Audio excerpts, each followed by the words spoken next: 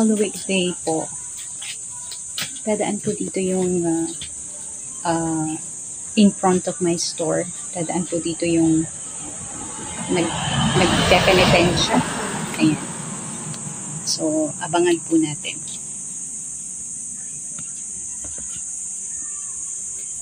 Yan po yung garden ko. Abangan po natin. Dito po dadaan yung magpe-penitensya.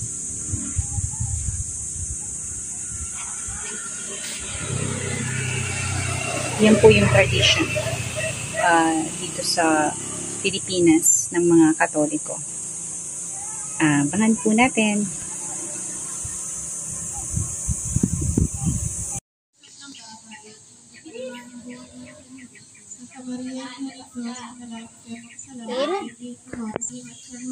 Santa Maria, Diyos, pinalagi ka makasalanan, hindi at Diyos, pinatayan mo. Ng pa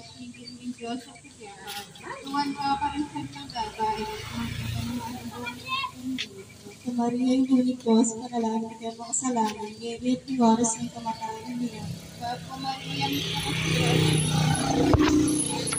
Tuwan ka pa rin sa pagkakay, Magpapanamahin buwan ng Panginoon. Santa Maria, hindi Diyos, pinalagi ka makasalanan, hindi at Diyos, ang kamatayan niya.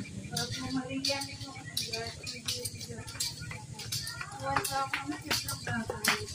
Sabi ko po,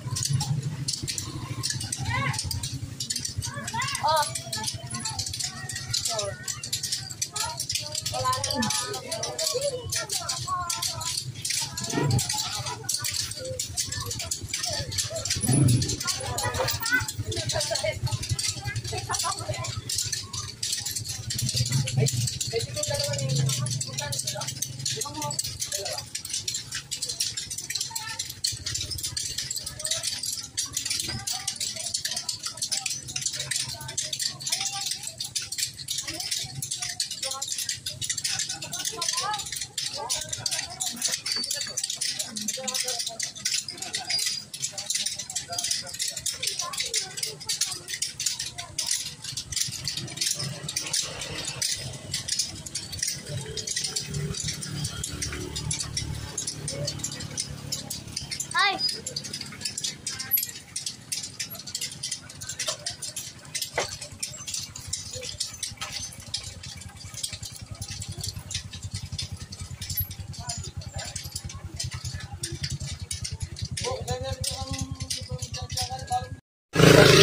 um, nakita niyo po yung uh, pagdaan um, sa harap ng aking store. Um, yan po yung tradition ng mga Pilipino, Katoliko. So, pagpapanata po ang tawag dyan. Um, para sa akin, lagi po tayo magdarasal at gumawa ng mabuti um, hindi lang sa pananakit sa ating katawan or uh, any panata na ginagawa. Basta gumawa po tayo ng mabuti sa kapwa, sa sarili natin, sa pamilya natin, at kung sino-sino pa. Kahit saan kang tayo magpunta, gumawa po tayo ng mabuti. Ayan po. And uh, thank you for watching. And please like, subscribe, share, and click the notification bell for more uploads videos to watch. Bye for now. God bless.